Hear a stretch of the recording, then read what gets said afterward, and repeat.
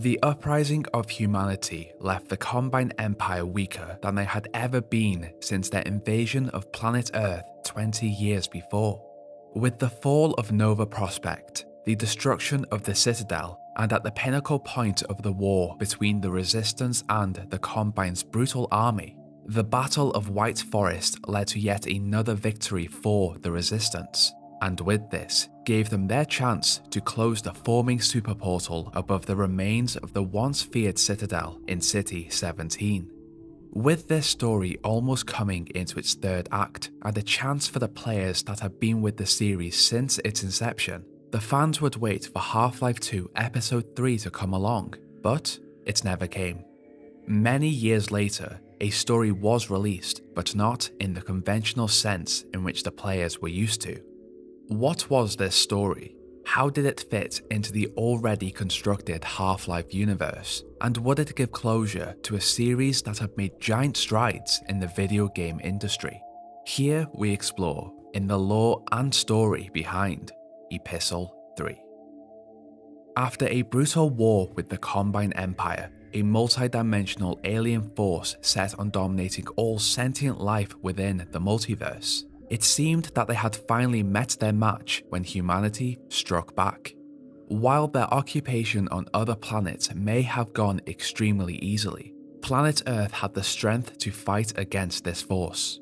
At the war's height, Judith Mossman had been sent to the north by Dr. Arne Magnusson to seek out the codes of the Combine homeworld in the event they would need them.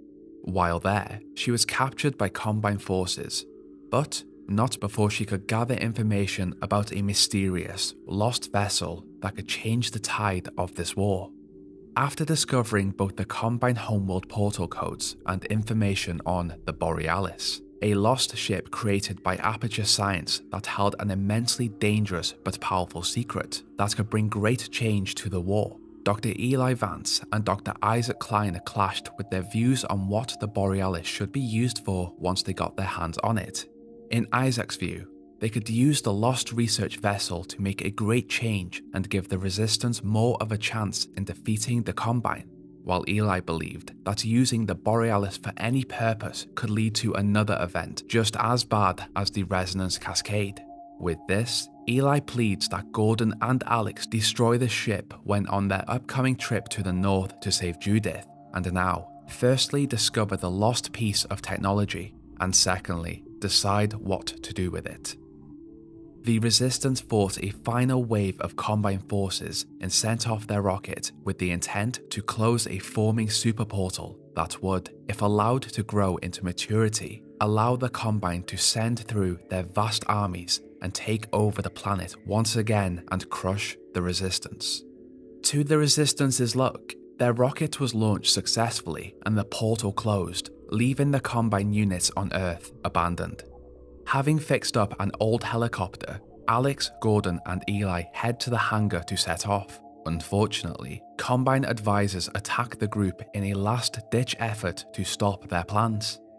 During the attack, one of the Combine advisors brutally murders Eli in front of his daughter, leaving yet another victim to the Combine rule. To Gordon and Alex's luck, Dog crashes through the ceiling and fights off the advisors, saving their lives. But the damage had already been done. And now, the resistance had to decide what to do next without one of their strongest leaders to guide them. With Eli Vance having been murdered by the Combine advisors within the hangar of White Forest, both Gordon and Alex, as well as the rest of the resistance, mourned the loss of one of the great and prominent members of their cause as Eli had the information about the Borealis in his brain when he had died. The Resistance feared that the surviving Combine advisor may have absorbed important information about the Resistance's cause, fearing any future plan of the rebellion to have been compromised. With the Resistance full of sadness, they came together to bury Eli and honour his memory. Soon, talk came of the plan ahead and the mystery of the Borealis. Following the wishes of their beloved leader, the resistance decided to follow through with the plan to travel to the north to seek out Judith's fate and discover the secrets of the Borealis that she had found just before her capture. As Gordon and Alex prepared to leave, the people spoke of what to actually do with the Borealis upon discovery. Some believed that it should be destroyed, just like Dr. Eli Vance had wanted, as it could not only potentially give the Combine access to whatever advanced technology was on board, but also, if used incorrectly by the Resistance, this could have the potential to trigger something just as bad as a resonance cascade, or maybe something even worse. The others within the Resistance believed that upon the discovery of this lost research vessel, they could use the technologies within to aid the Resistance in a success against the Combine Empire and free humanity from their awful rule. But, as no one actually knew what resided on the Borealis, the decision would be left to Gordon and Alex if they were even able to discover it. With Judith's coordinates to hand, Alex and Gordon set off using the helicopter, hoping that the Combine had not discovered the Borealis yet either. With the Combine having stormed Judith's base, as well as their advisor taking whatever it could from Eli's brain, it was clear that the Combine had information, but if it were enough to go on, they were unsure. Aware that this trip to the north could be quite dangerous, Another group of the resistance chose to follow Alex and Gordon in a separate helicopter where they could supply additional support if they were to come into any trouble with the Combine. After hours of travelling, Gordon and Alex make it to the north, but for an unknown reason, suddenly and without warning, the helicopter was unable to transport them, leaving the duo to continue to follow the coordinates on foot. Continuing on, Gordon and Alex finally come across the Borealis, but to their disappointment, they find that the Combine had already made it here first. With their technology, the Combine had constructed a fortified barricade around a field of open ice. While at first there appeared to be nothing of interest within it, they watched as the Borealis faded in and out of existence. One moment there, one moment gone. At first, Gordon and Alex thought that the Combine technology around the ship was somehow manipulating it, but upon further inspection, they understood the ship to be actually teleporting itself in and out of the area. And now they could see the Combine technology surrounding it was attempting to bring the ship into complete coherence. With this amazing feat happening before their eyes, this confirmed to Gordon and Alex that the technology on board had great potential to either aid the resistance or destroy it. Understanding that the Combine had placed the technology around the ship to seize and then study it, they continued to follow the coordinates that Judith had given them, believing these coordinates to be the place where the ship would materialize for long enough for them to get on board before it disappeared again. On their journey to these coordinates, Combine soldiers had become aware of Gordon and Alex's presence, where they were later captured. To their luck, the duo discovered that they had been spotted by Dr. Wallace Breen, but not a version that they had been familiar with. During their last interaction, Wallace had been attempting to open up a portal to the Combine homeworld in the hopes he could leave Earth and avoid the wrath of the Resistance for his part in working with the Combine. But this version of Wallace was different. Although his physical body had seemingly died after falling into the depths of the Citadel after Gordon had destroyed the Dark Fusion reactor, the Combine had used an earlier version of Wallace's memories and imprinted them onto a Combine advisor where he would now live as one of them, unaware of what had actually happened to his physical form. Aware of the reputation Gordon held amongst his fellow Combine members, the slug version of Wallace slightly feared him, but he feared the Combine even more. He confessed to Gordon and Alex that he was, just like many others, simply a prisoner of the Combine and a tool to their continued dominance over the planet. Disgusted with what the Combine had turned him into, he asks Gordon to end his life.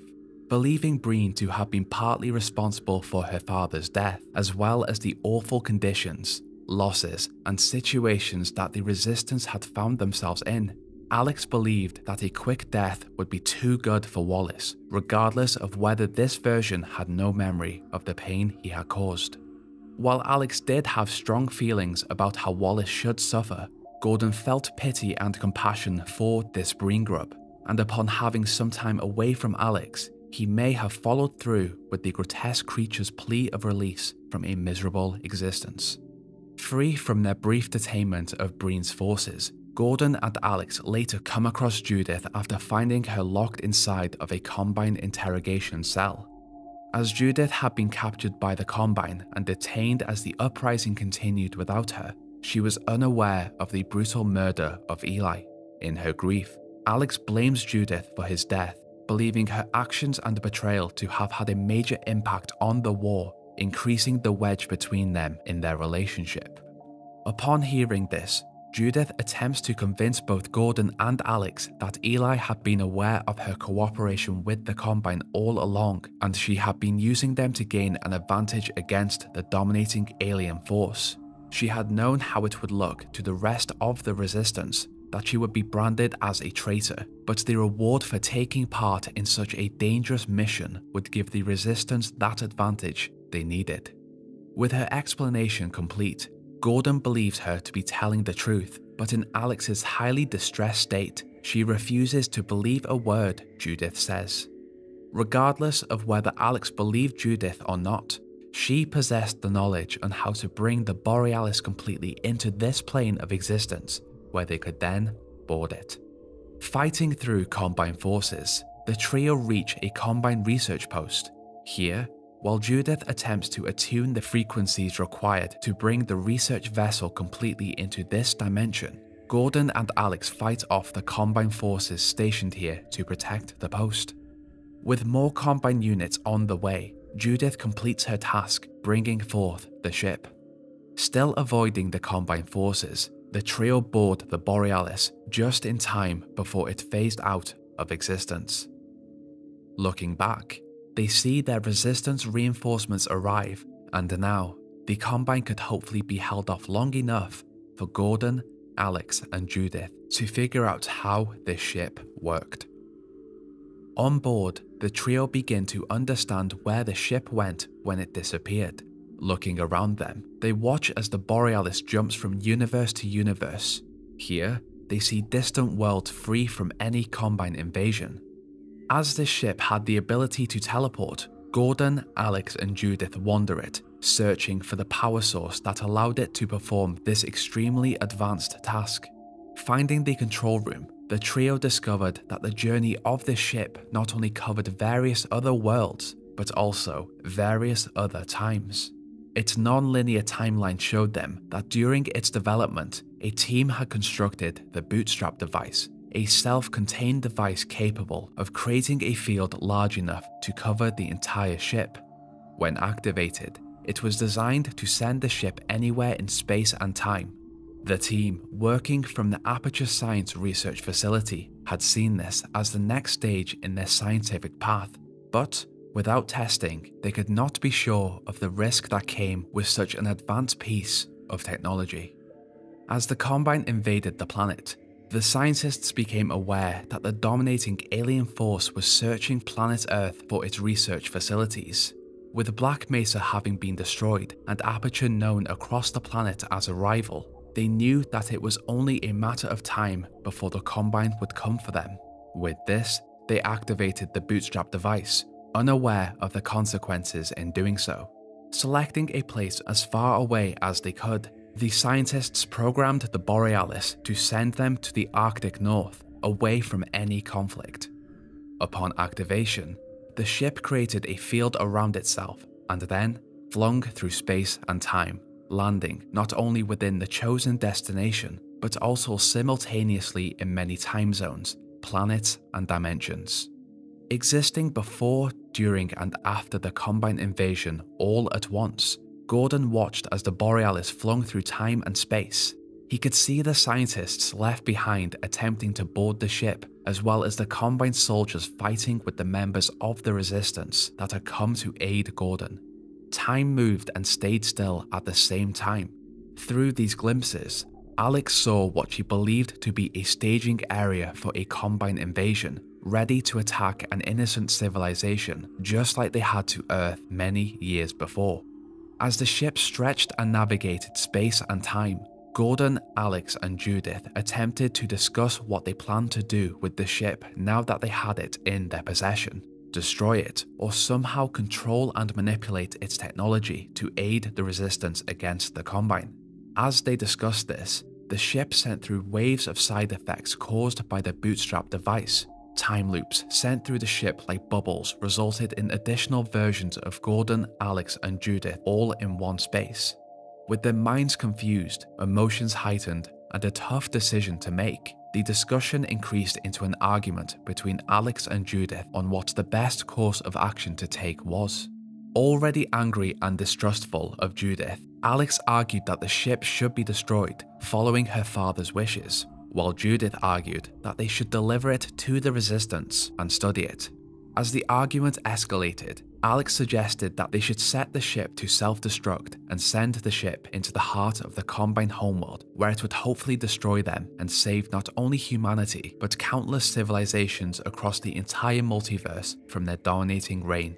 In response to this, Judith attempted to overpower Alex and turn off the bootstrap device to allow it to rest within the ice surrounding it. With this, in a heated struggle, Alex shoots Judith, killing her with her death, Alex had honoured her father's wish, and whether Gordon liked it or not, they would set the Borealis to self destruct and ride it together into the Combine homeworld. As Alex arms the ship, essentially turning it into a time travelling missile, the duo, who had already been through enough pain and war for one lifetime, accepted their fate as the Borealis began its final trip. In this moment, the G Man appeared aboard the ship this time taking an interest in Alex instead of Gordon. Through her life, Alex had interacted with the G Man twice once as a child during the Black Mesa incident, and secondly, after she had been attacked and almost killed by a hunter in the Outlands. Although she had not properly seen this mysterious entity since her childhood, she did indeed recognize him. With their imminent demise coming up, the G Man tells Alex that they have places to do and people to be. Upon saying this, Alex follows the G Man through one of his portals out of this reality, closing the portal behind them, leaving Gordon alone. Looking outwards, Gordon watches as the Borealis enters the Combine home universe, and ahead, he sees just how vast their empire was. The dominating alien force had managed to construct part of their empire around an entire star they had constructed a Dyson sphere, something humanity had only thought to be theoretically possible. Their empire, knowledge and power was much larger than anyone had ever thought, and then it dawned on him just how low of an impact humanity had and ever would make. That the Borealis, upon impact, would merely be registered by the Combine. Believing all to be lost and all hope gone, Gordon waited for his fate, but, to his luck, the Vortigaunt had discovered his location and using their abilities, plucked him out of the Borealis, where it hit the Combine homeworld and exploded. Landing on an unknown shore in an unknown time, Gordon did know that a lot of time had passed since he had stepped onto the Borealis in the north. He believed that enough time would have passed for those that had been around during his time with the Resistance would remember his name, but most of those he had known best had either been murdered, disappeared, or aged with time. Even now, after everything he had been through, Gordon was completely unaware of whether the resistance of humanity had defeated the Combine Empire or whether humanity had fallen, just like many other civilizations.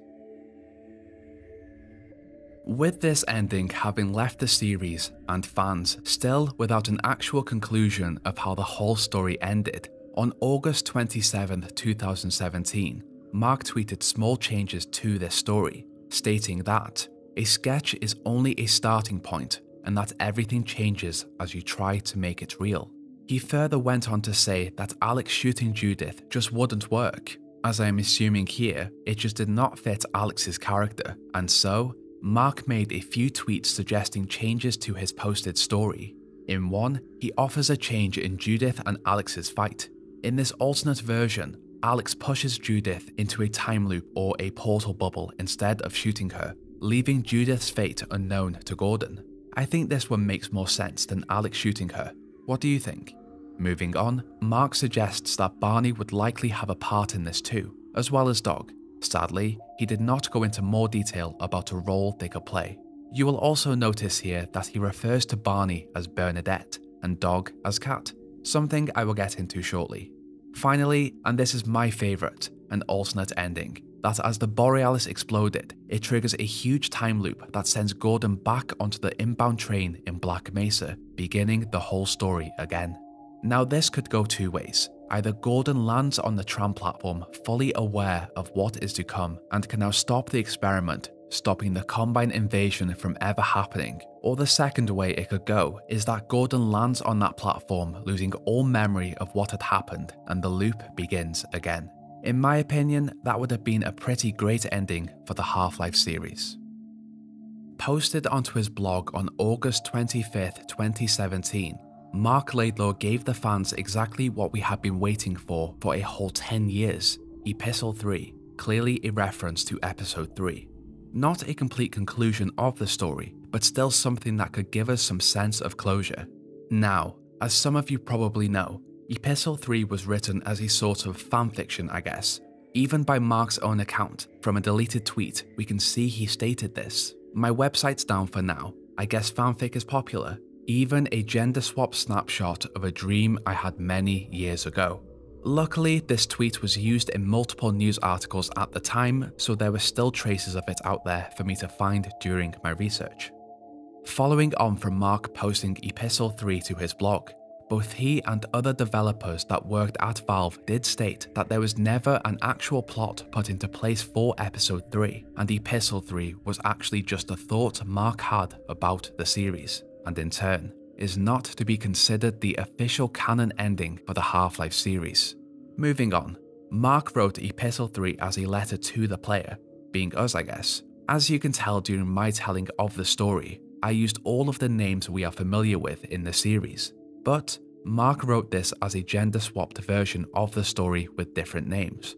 I'll do a quick run through of the differences. In this gender swap story, Gordon Freeman is referred to as Gertie Fremont, what was interesting about this is that Marc actually gave us insight into what Gordon was thinking. A good example is when Alex does not believe Judith to have been working for the Resistance all along, and we get confirmation here that Gordon agrees with her.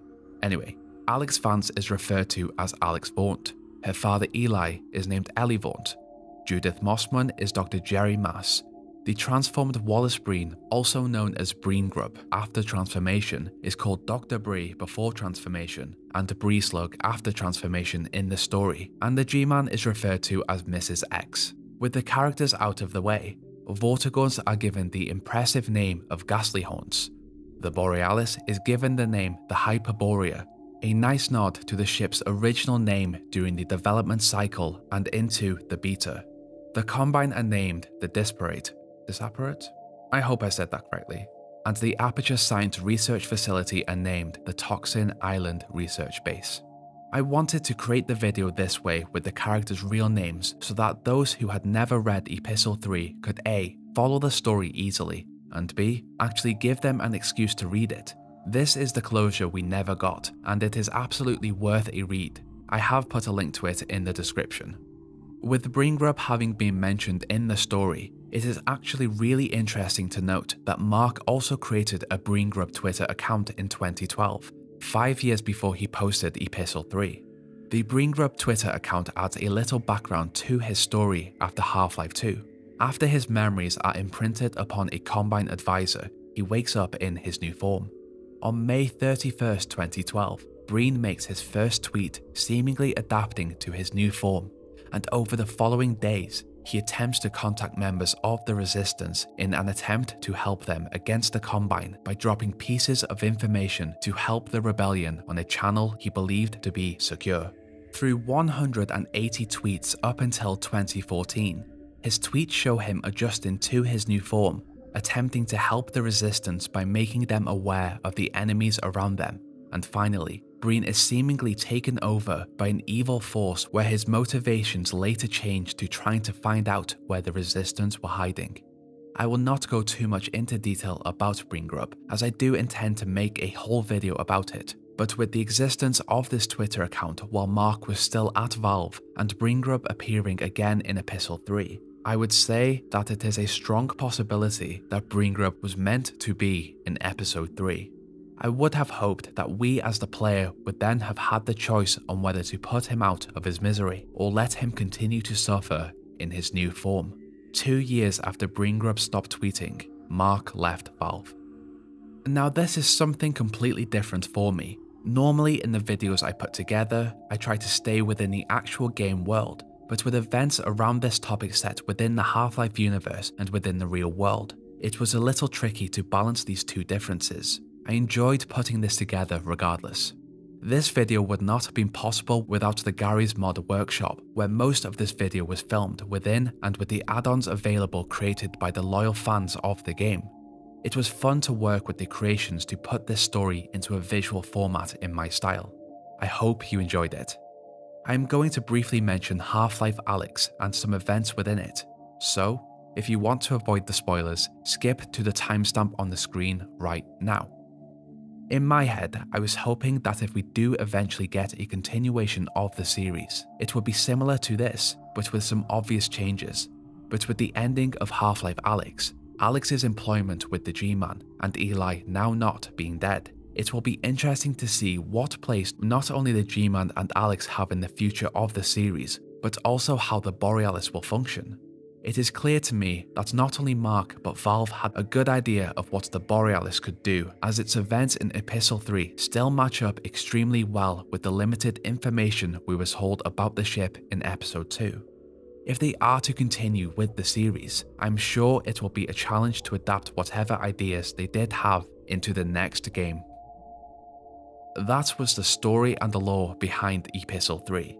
If you enjoyed this episode, I would really appreciate it if you could leave a like and a comment on your thoughts. If you really liked it, then go ahead and subscribe. I know you have already watched a couple of videos, so why not subscribe and then you will get notified when I post new content. Interacting in any way will help the video with the algorithm, so give it a like, give it a dislike, share it with your Half-Life communities, it would help a lot. If you would like to stay up to date with what I do outside of YouTube and some behind the scenes content, then go and follow my Twitter and Instagram. Finally, I would like to thank my patrons who are helping to support the channel. I really appreciate you. Thank you to The Old Gods, Talus, Detroit, Avi WV, Brunette Janas, Jojo Scotia, Imaginary Holly, Ruben Mendoza, and Puppa. I would also like to give an extra special thank you to the Elder Ones tier, Jonas, Lewis, and Queen Abby. Thank you guys so much. What did you think of this lore video? For me, Epistle 3 was the closure I needed for the Half-Life series. It gave a great conclusion to a fantastic story, even if it is not considered canon. The best part about it for me are the tweets after Marc had posted the story where he suggested that a huge time loop could occur, sending Gordon way back to Black Mesa just before the Resonance Cascade occurred. That would be my perfect ending. Which ending do you prefer? Do you consider Epistle 3 to be the true ending to the Half-Life series? And what did you think of the names Marc gave the characters? My favourite was the Ghastly Haunts. I don't know why, it was just a great name. If you have any suggestions for future Half-Life lore videos, please let me know. The next few I am thinking about are Xen, the Half-Life 2 beta story, and Ravenholm. Any suggestions are welcome. That was everything I wanted to cover in this episode. Now Combine Unit, Enjoy your day and hit that beating quota. Bye.